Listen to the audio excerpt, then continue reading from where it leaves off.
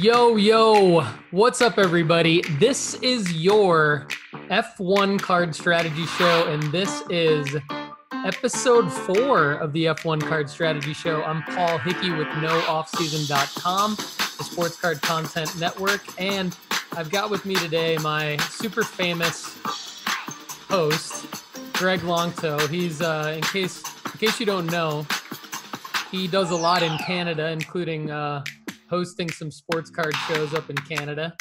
And um, English is his second language.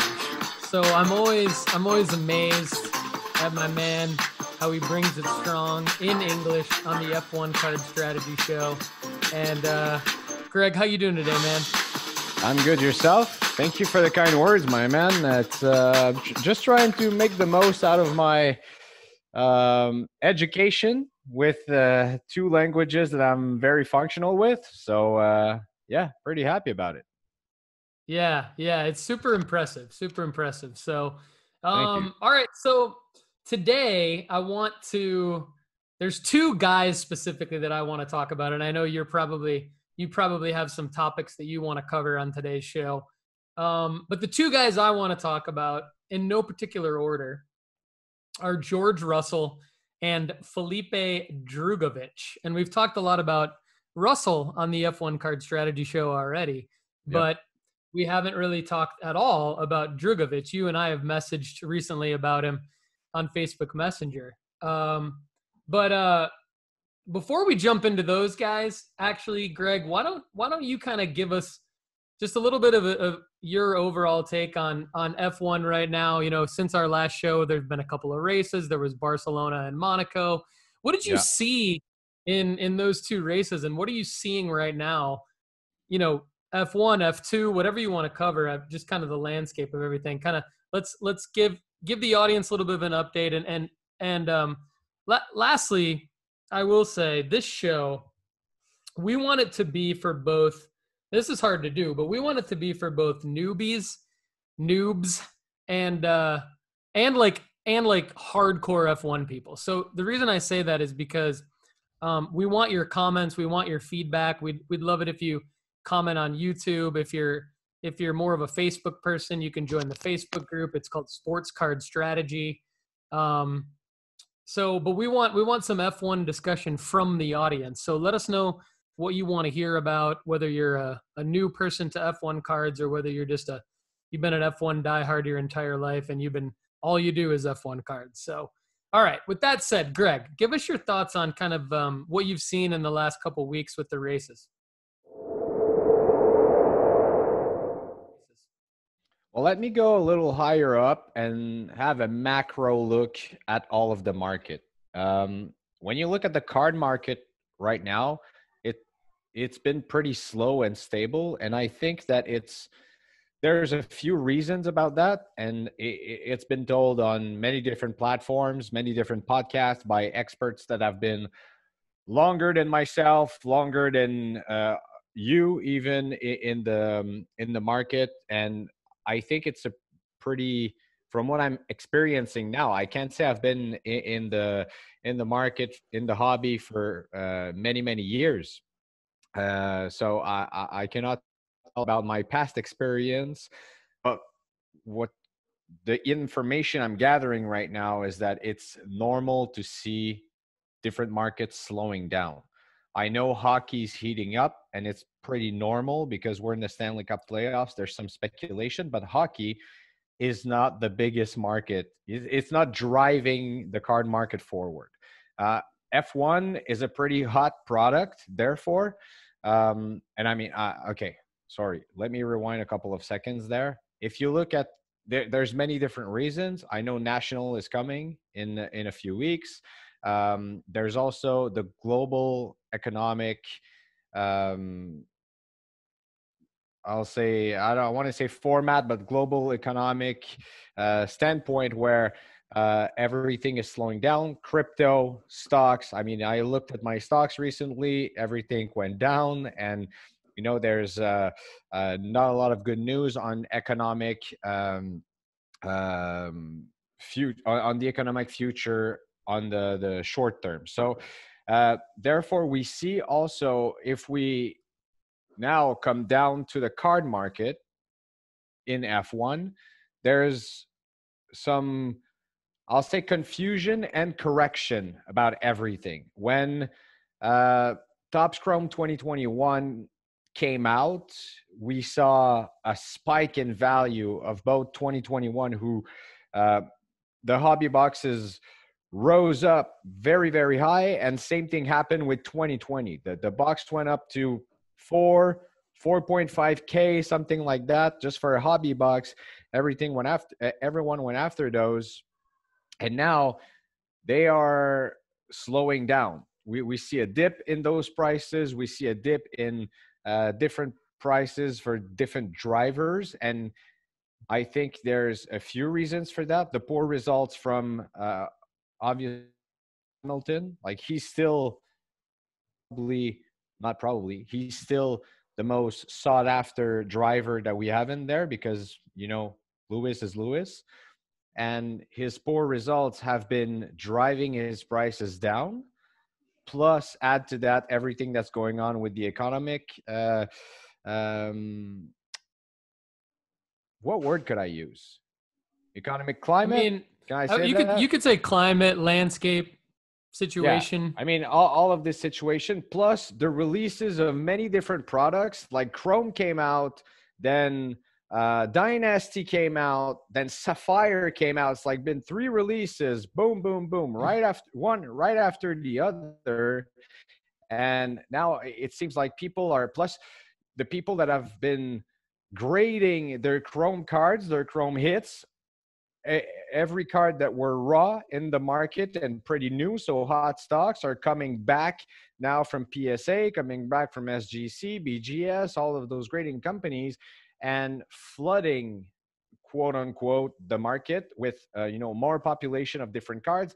And as a buyer even for myself been looking for investing in many different cards. Now you're looking at what's going on in the market you're like okay but what should i buy? What am i buying?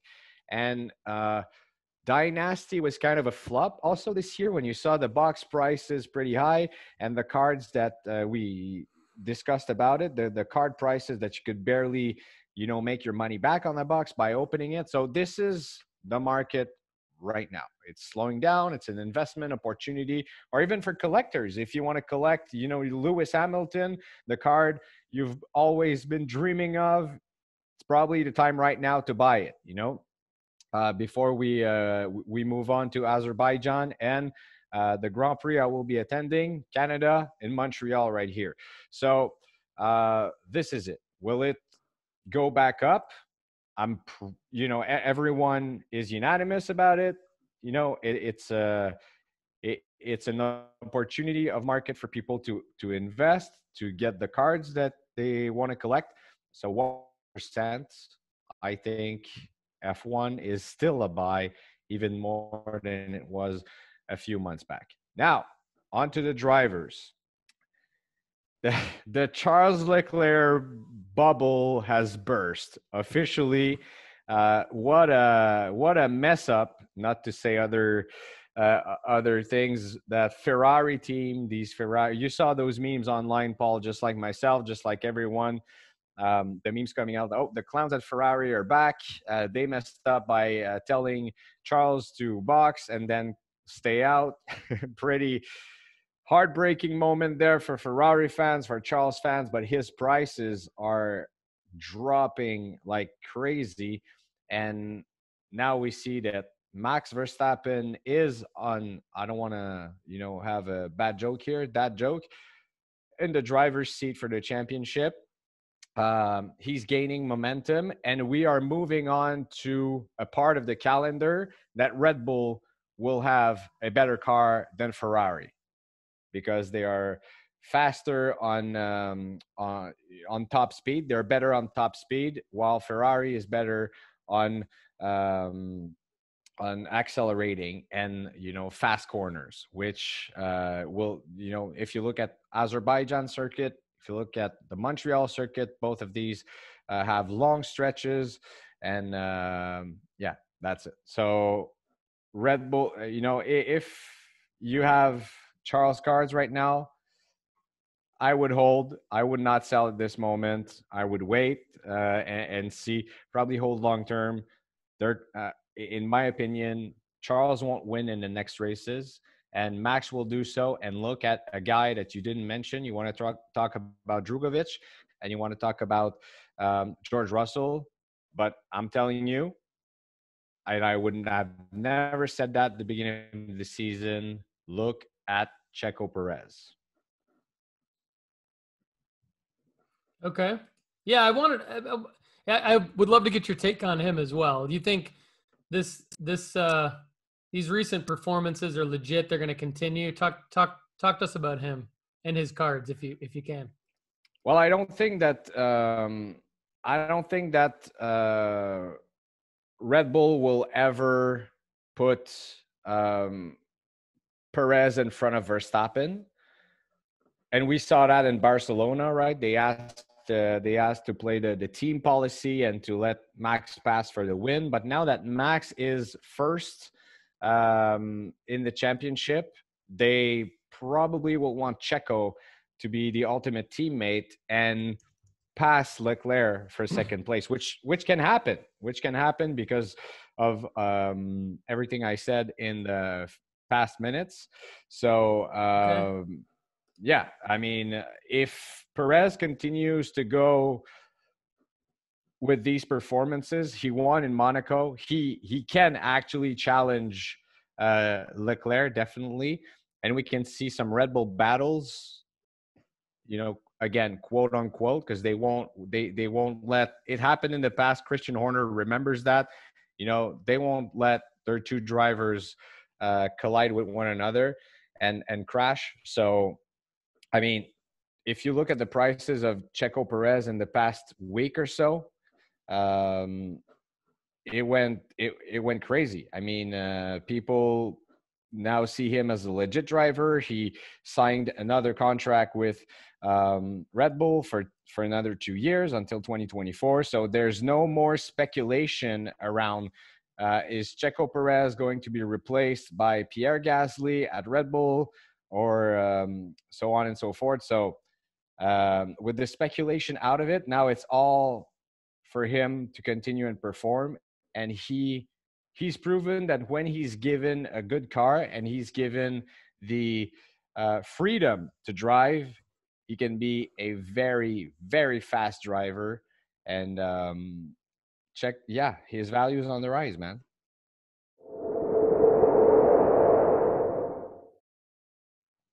Interesting. So I'm glad you brought him up. So let's talk about this for a second because this is kind of a concept that I've been really, really digging into throughout all of the all of the player profiles that I've been writing for nooffseason.com for the sports card investment report. And and I want to make sure that I'm advising our subscribers to the premium side and and to our audience here on the on the the shows that we put out like timing being important right so the way that i would look at perez right now and correct me if i'm wrong is i would look at him as like yes a legit driver yes he's on my radar.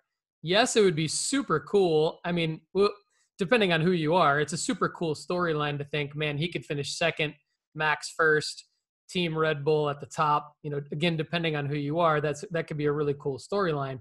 But coming off of monaco is now really the time to buy him. Wouldn't wouldn't you say like wait until maybe he finishes fifth or seventh or eighth and maybe grab some points but doesn't don't buy him right after a win because i think to your point earlier uh, it does seem like the F, f1 card market is kind of mimicking the other sport card markets where it's like there is a clear time to buy and there is a clear time to sell. And you could look at Leclerc like a time to buy right now. You could look at Hamilton like a time to buy right now. Um, I think you could even look at Russell. That's one of the reasons why I want want to talk about Russell is because you could look at Russell maybe as a time to buy right now. And I have some specific questions for you about him. But but I'm well, glad Russell you brought up been... Perez because it's, is now really the time to buy Perez. It's a, it's it's a good question. The the the market has not reacted necessarily to wins um, recently when you look at the data, And I mean, um, I'll I'll put you like this. I'll put it to you like this. He won Monaco. Is it a time to buy? No. If he wins in Azerbaijan, what happens? It's the same situation. What what you're asking me now is Leclerc, what, right? well, same yeah, situation we saw earlier well, this year with Leclerc, I would think. Exactly. And the the second the, the second situation is pretty much like I would compare it to the NFL playoffs. And I, am not yeah. dictating the futures there. I'm not dictating the future of the market there. But what I'm saying is, I feel like what we saw with Charles was pretty similar to what happened to Joe Burrow during the playoffs. Every single yes. week, after every single win, his cards were rising. So, was it the time to buy Joe Burrow after he won his first playoff game? No, but yes. After the mm-hmm. second week? No, but yes. So, was it the time to buy him uh, before the Super Bowl? Uh, probably not. So, you know, right before the conference finals. So, he won now. It, it's it's pretty much the same situation, uh, and I'll, I'll go in the soccer market right now as Malik Tillman. You know, Malik Tillman has a hype around him. He just announced that he's going to be uh, in the U.S. men's national team, and he played his first game yesterday. He played a few minutes. Did did okay. Did well. Is it is he a buy? No. But yes, again, we'll, we'll you know the World yeah. Cup is coming. He will play as a starter at the World Cup. I think he's going to be part of that team, uh, and obviously uh, he's going to be an important part of that team uh, on the midfield. So once again, yes, there's hype. I mean, the time to buy Perez was probably when there was speculation and his price wasn't going up. You know, so other than in the yeah. past you know, if he finishes fifth, fifth, yeah, as the example you you said, if he finishes fifth or have you know one or two races, um, the speculation is still going to be there, and I don't think it will drive his market down. Unless... yeah, and generally you're right. Like his sales, there haven't really been many sales, if any sales. I'm looking right now on Market Movers app by Sports Card Investor. You can uh, get your first month there for only a dollar if you use the promo code No Offseason. And and I don't really see many uh, many sales. So I think you're right. I mean, and I think I guess as someone who I know you're you're primarily F1 and soccer, although you have bought you have bought basketball and, and football cards in the past and probably hold still a few of those. like for me, I buy basketball. I buy basketball, soccer, football, F1, a little bit of baseball, not that much. Um, I would think that like if you're only an F1 person, you probably are looking at Perez. You probably are looking at Sainz, Ocon. We talked about Gasly on the last show. You know, you probably are looking at some of those guys. You're probably looking at Drugovich maybe, or maybe you should be. We're, if you're not, we're going to talk about him in a second. But, um, but I think if you're if you're buying like if you're if you're buying other sports and F1, Perez might not be the guy for you. And I say that because like you're in a situation where your investment portfolio looks a lot different than like an F1 only person. What do, what do you think about that, Greg? You know, does that make oh, sense? I, I, I agree with you. Um, I agree with you. Is there a play? Is there a play to be made there? Uh, of course, but is it going to be the first driver you want to buy? I mean, no, of course not. Yeah. Uh, but yeah. but but again, uh, it, it's all about it's all about finding opportunities in the market. I think Sergio Perez is an interesting one. He has a huge following, obviously in Mexico, Central America has you know huge um, sponsors that that come with him. So, I mean, of course, if you have that kind of money to put on a driver, uh, I, I would tell you to go with Lewis or Max, um, or or any yeah. other prospect. But if you are in the market and you see a deal that's coming up, that could be interesting. Yeah. So I think we we kind of hit on yeah, we're aligned on that. I think we kind of just hit on a a difference between like F1 prospecting and and just getting into F1. And there's a reason why we have Lewis as number two overall on our sports card investment report at no off season, and I think Max is number seven, just because we we feel like those are the guys like they're still sort of underpriced, and it's a good time to buy based on who they are. And so, um, before we get to Drugovich, I want to talk about uh, timing another guy because I feel like George Russell kind of straddles both worlds. He's someone that F1 people have been really, really high on for the last couple of years. There's been a lot of hype around him. He has performed this year. Um, he's the only driver, I believe, still to have a top five finish in every race. Um, yes. And uh, but he's also someone that F1 people who are just dipping their toe in the water for the first time are also familiar with and have invested in. And so my question to you is when is George Russell going to win his first race? Oh my god. Until the end of the season. I think so. If not, it will be next year. And next year, I think Mercedes will be a legit contender for the World Drivers' Championship. And if you look at what is George is doing with this car, he's absolutely going to be a contender. So if it's not this year, it's next year for sure. And uh, yeah, he'll be he'll be definitely a contender. So I mean, George is George is an absolute stud uh, is he the favorite of you know the favorite of all? Uh, I don't think so. uh, when, when you look at you know his personality, uh, Lando Norris has the star star potential uh, way more than than George, but George has the car, and every serious F1 fan is loving George. So yeah, you, you got that factor. And once again, he is very consistent in the top five this year. He's the only driver on the grid who's placed top five every time. Um, is it because he's the best driver on the grid? I don't think so. I mean, Lewis Lewis has has been bad lucked a lot of times, including in Monaco. I mean, Kevin Magnussen in Barcelona bumped into Lewis and Ocon in Monaco as well, plus a red flag in qualifying that prevent him to go higher on the grid while he was showing a good pace. So, uh, yeah, I, I George is an interesting guy, and of course, and everyone will agree that he will be world champion one day. But does that dictate that his prices will skyrocket if he does so? Not necessarily, because if you look at Max, Max prices have not been to where they should be after he won his world championship, you know? Yeah. So we have um Russell as a buy and hold right now at nooffseason.com.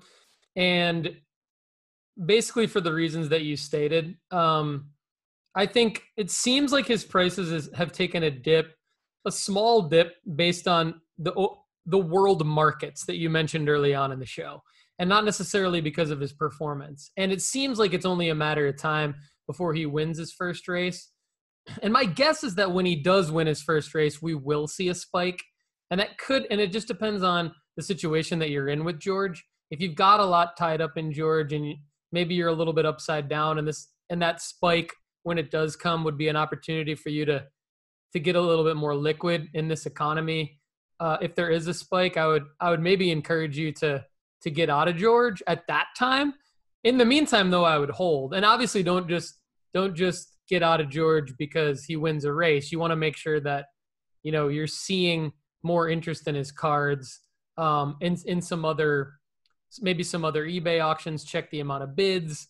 Um, we talk about MySlabs. maybe maybe go on MySlabs and look at some sold listings of george they do a good job with that so there's a lot of different ways to get your data but the reason the main reason I wanted to talk about George is because one of our plays of the month at nooffseason.com, when you're a premium subscriber to our investment report, we've added different plays of the month on player profiles.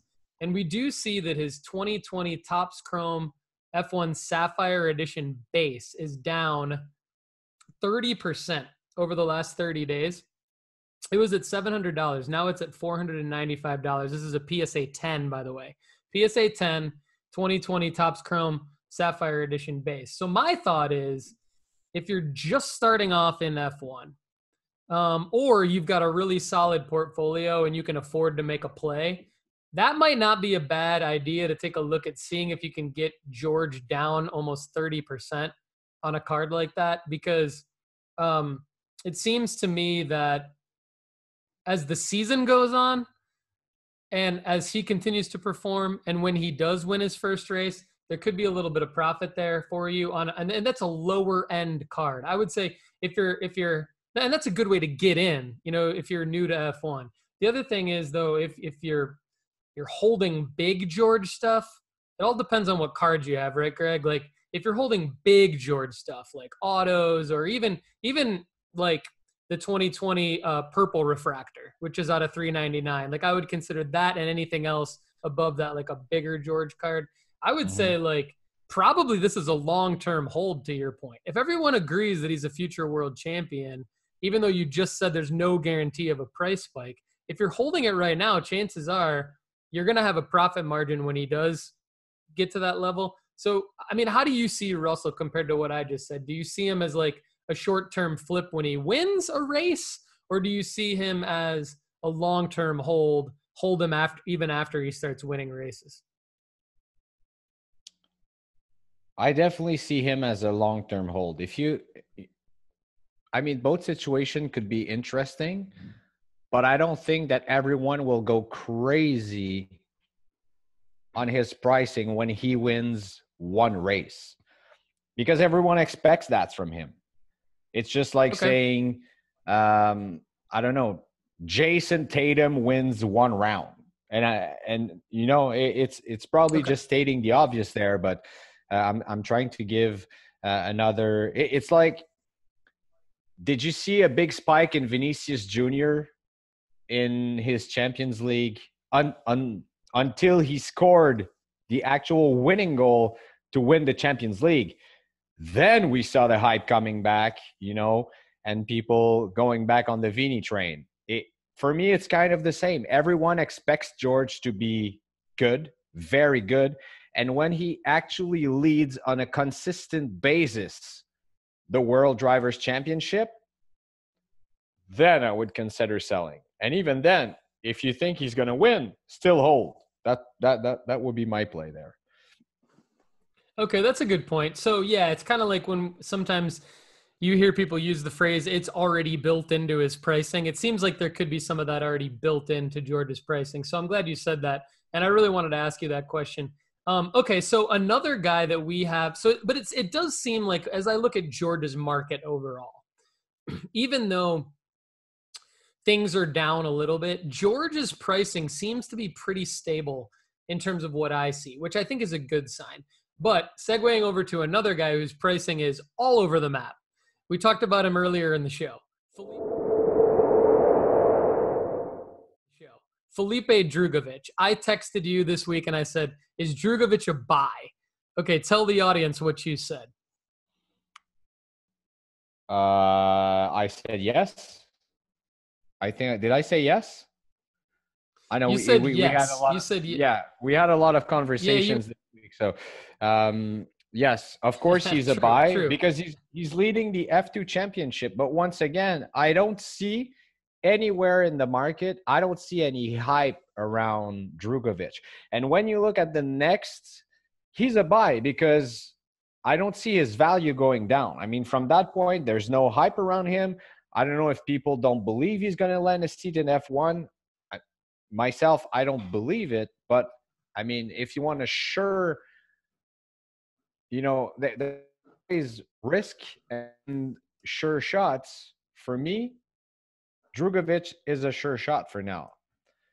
just because uh, you know he's in the 2020 set. You can find 2020 autos for uh, a good price, and even if he doesn't land a seat in F1, I don't see his value really going down because it hasn't been spiking up. Um, I don't know if you disagree about that, or we can show data or something, but there seems to have other drivers that will land F1 seats before him.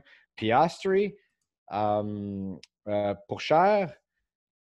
Piastri, Pourchaire, Jüri Vips, and many other drivers. So, um, uh, including his fellow Brazilian Fittipaldi. So, even if he does win F2 this year, I mean, we'll see where his future goes. Yeah. I'd love to get the audience's take on Drugovich uh, for those of you watching and listening that are have been big into F1 uh, cards for the last couple of years or even beyond that. Um, I agree with you. I think he's a buy only because his pricing is so low, and it is fu- to me it's it's fun and interesting to prospect as an investor. And I advise everyone to have flyers in their portfolio. We talk about goats, heroes, and flyers, and I like a good mix of goats and flyers. I'm not I'm not as big on heroes, and I'll talk about that at some point. They're just a little bit harder to make profit margin on. Um, but flyers are not if you can if you have a strategy for them. And I think Greg Greg's talked about a good strategy with Drugovich, even if he doesn't get called up to F1. And I don't know that much about that personally. Um, Greg, you know more you know more about that than I do, just kind of how that works and how maybe predictable or unpredictable it is. But I think overall, I mean, since he is leading F2, there is a play with him potentially winning the championship and getting some notoriety in that regard. I would also think that when the next season of Drive to Survive comes out, they might be mentioning F2 more and more, and there might be, and because he's winning and leading, you know, maybe I'm totally guessing, but maybe uh, they mention him in that series more as a guy. But um, what I do, what I do like about his pricing is that, you know, just this past week you had, um, I personally missed out on a 2020 uh, Topps Chrome green refractor auto at a 99. It went for $340, which I think is a pretty good price. But what's weird about that is one week earlier the same card went for $75 and that's why i say his pricing's a little bit over the all over the map. Then you have more a more stable s- sample size than that is his um his his regular refractor auto out of 368 from the same set 2020 has gone for 107 in april 109 May 21st, but it also went for 199 on the same day, May 21st. So it is kind of hop. It's more stable, but it is kind of hopping up. These, to me, those are still low prices for a guy. It's his first auto, and these are low serial numbered cards in a highly, highly regarded set that will, will, will always be the set, the first Topps Chrome. The thing that I would um, caution everybody against, though, is like be careful not to necessarily buy the 2021 Drugovich cards just because I just I think and we I could be wrong on this, but my gut tells me that like five, six, seven years from now, it's gonna be that's his second prospect auto. I think it will be defined as his second prospect auto. And if you look mm-hmm. at baseball and how Bowman Chrome has has shook out over the years, and it's still relatively new. We're probably like eight or so years into kind of Bowman Chrome first prospect auto and then all and then everything after the first prospect auto. So I think like we all hypothesize in the F1 card market about well, what's the difference between an F2 driver's first card, second card, and then their actual rookie card when they get into F1 with the RC on it? And I think you're gonna have two valuable card card and variations for each driver. You're going to have their first prospect auto, which I believe will be their most valuable of all time. And then you will have their rookie card auto when they get into F1, which I think will be their second most valuable, like sort of series of cards of all time. Now, we all know that the different serial numbers and parallels and all that can make a rookie card or even a second prospect auto potentially more valuable than a first. But I think in general, this you want to avoid the second prospect auto, which for Drugovich would be the 2021 Topps Chrome set. But um, Greg, I know it's early in this, right? We're only in our kind of second year talking about these Topps Chrome sets. But what's your take overall on what I just said, and what type of what what Drugovich cards would you be going after, and uh, if you're kind of looking to take a flyer here? Well, always, you know, 2020 will always be king in the F1 market. That's that that's what I'll say. 2020 will always be king.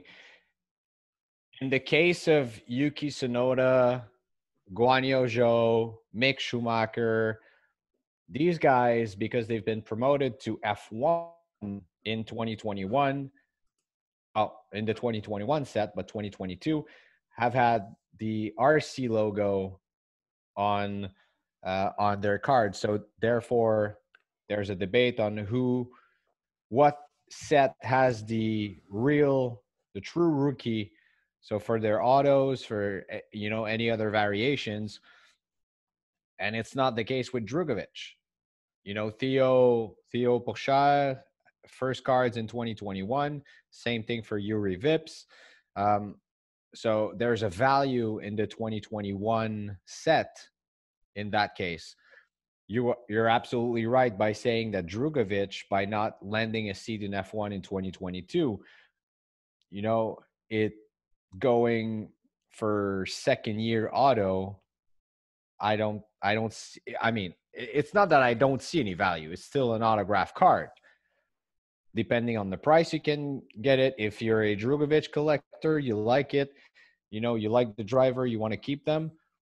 But if you want to invest and have the money to do so, because there's not that much of a price difference, I would go with 2020 for sure. Yeah, that makes sense. And I do I do want to sort of address something that I said in the last show about collecting. I think, you know, obviously it is important. We do want we do want people to be the end owner of these cards to to treasure them, to value them, to hold them forever as part of just something that they enjoy to own. I certainly have things like that. Um, you know, in my life, I have a couple, you know, Sports Illustrated autograph covers of of some guys that I like and things like that. And so, so I do I do think that they're you know that's super important. Um, and uh, all right, so with uh man the, you know the season ends november 20th essentially. So we're here in mm-hmm. june and we've still got several months left. Uh one thing that i love about the f1 season is the schedule of it. I love the consistency. I love that it the races are on sundays right before the nfl i love that it's a long season with a short off season obviously uh because there is no off season but um, if you had to make a bold prediction, I'm going to put you on the spot at the end of the show here. Yep. Yep. If you had to make a bold prediction with so so many races left, and you're going to be you're going to be at the Montreal race, which is super cool. Um, what what would you what what would you say that you know we should maybe not be surprised by that that you think might happen um, as a bold prediction? As a bold prediction, what do you mean? So something obvious that's going to happen? Uh, well, this would be something that maybe we it would actually be the opposite of that. So it would be maybe something that we okay all okay, assume so is going to be take. obvious right now, but it's going to be sure hot take hot take. Uh, Lewis Hamilton's going to start winning races before long. Nice. Well, okay. Start. I like that. It's going to resume to winning races. Uh, resume. I, I, I like, I, I loved, I loved what I saw in Barcelona from that car. Um, he had a lot of pace and he would have finished probably podium if that wasn't for Kevin Magnussen bumping into him. He had a puncture, had to pit for new tires, and still managed to finish uh, very. Uh, he finished five, fifth, so top five. Um, Monaco is not at all suited for Mercedes this year. Uh, they well in the new version of the car which they are just like red bull super fast on on straights have a good top speed uh, are are good in uh, low speed corners as well. So i mean i think and lewis loves montreal. I would go crazy if he wins in montreal but i think he's going to resume winning races before long and you will see his prices going back up for sure. I love that. I love that. Well uh Greg, thanks so much for co hosting with me on the F1 Card Strategy Show. This has been episode four. We really want you, the audience, to engage with us for this show because there's not really an F1 only podcast. Now, of course, uh, the Sports Card Strategy feed, we have all sorts of shows. We have the Sports Card Strategy Show, and we do a niche show for each sport. But um, we'd like to collaborate with you, the audience, to really make this your F1 podcast. So check us out on Instagram at Sports Card Strategy or on Twitter at No Offseason Card. And um, shoot me a note, a DM, whatever. Uh, if you want to collaborate, join Greg and I on the show. That'd be awesome. There's a lot, of, a lot of you out there that know just as much or more than we do about F1 cards, and we'd love to hear from you. So um, we'd really appreciate that. And um, you know, just help us out. If you really want to help us out, check out nooffseason.com, the sports card investment report. You can save 20% by using the promo code NOOFFSEASON at checkout. And uh, graphs and charts that we use everywhere uh, are brought to you by Market Movers app by Sports Card Investor. And it does help us out and help you out if you go there and sign up using the promo code no NOOFFSEASON. You get your first month for only $1. So Greg, thanks again. Everybody, thanks for watching and listening to the F1 Card Strategy Show here on the nooffseason.com Sports Card Content Network. Have a great day, and we'll see you next time.